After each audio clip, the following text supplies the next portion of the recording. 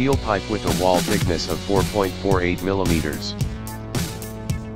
Pipe diameter is 109.78 millimeters. The manual peak peak mode is used for measurement.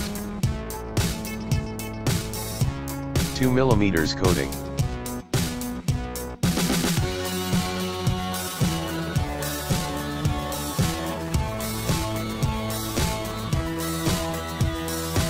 Three millimeters coating.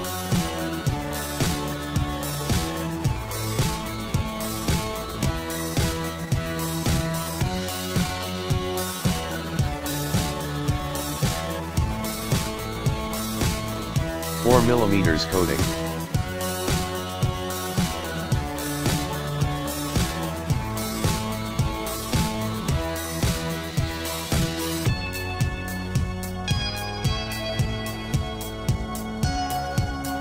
Five millimeters coating.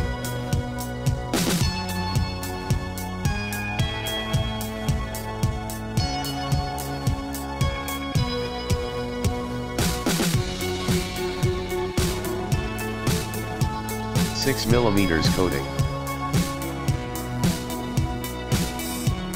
For surfaces with such roughness and a gap between the transducer and the pipe wall, there are some deviation on readings, but not exceeding specified deviations.